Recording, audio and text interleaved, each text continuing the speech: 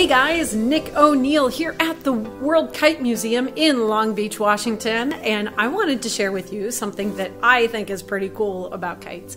And that's that kites are something that exists kind of around the world. There's a lot of cultures and societies that have a long history with kites, and that means that I can pretty much go anywhere, fly a kite, and even if I don't speak the same language as the person standing next to me, they get it.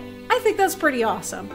Well, a lot of people around the world kind of grow up with kites in a very specific style, and that's kite fighting. So that's using a kite to knock another kite out of the air or to tip it or to cut the line of the kite. And yeah, that is kite fighting. And it's fun, and it's engaging, it's awesome. And there are millions and millions of people that know how to kite fight. I wanted to share with you a handful of the fighter kites that we have here at the World Kite Museum.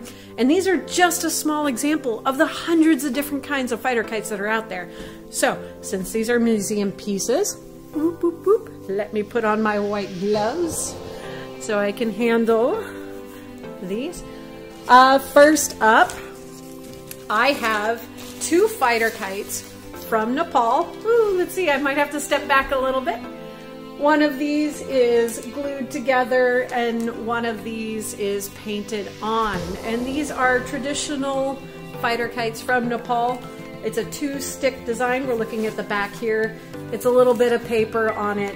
And yeah, uh, these are patangs out of Nepal. They come in various shapes, colors, sizes, patterns, all of that. Nearby, I have two patangs from India. So these are also fighter kites. These are glued together patterns. And also a two stick design. We have two sticks and tissue paper. These are very delicate, but they fly amazingly well. Yeah, they're fantastic. All right, in the same kind of geographic area, we have this next kite. And this next kite I'm going to keep inside of its covering because we just don't see a lot of these coming this way. Uh, this particular kite was gifted to the World Kite Museum in 1996. Um, and while it is not a representation of all types of kites from the area, it's still beautiful and we love it. This is a fighter kite from Afghanistan. So it's a little bit bigger but it is still a two stick kite and this is paper. It's been painted on top of there. I'm sorry for the glare, but of course that's the protective coating. You know, we, we don't want to see these fall apart anymore. So, all right.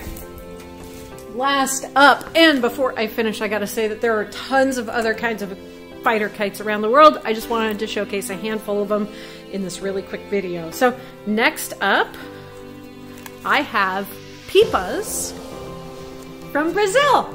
So we went all the way around the world to Brazil. We went from India, Afghanistan, Nepal, and to Brazil. I think that's pretty awesome.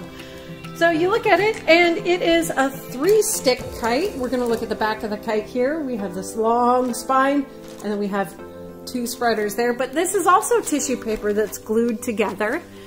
Various designs and all that. And yeah, they all do the same thing. They fly a little bit different, but uh, the point is, knock your buddy out of the sky. All right, so that was quick, and I gotta go. I just wanted to share a handful of fighter kites with you, so go out and have some fun.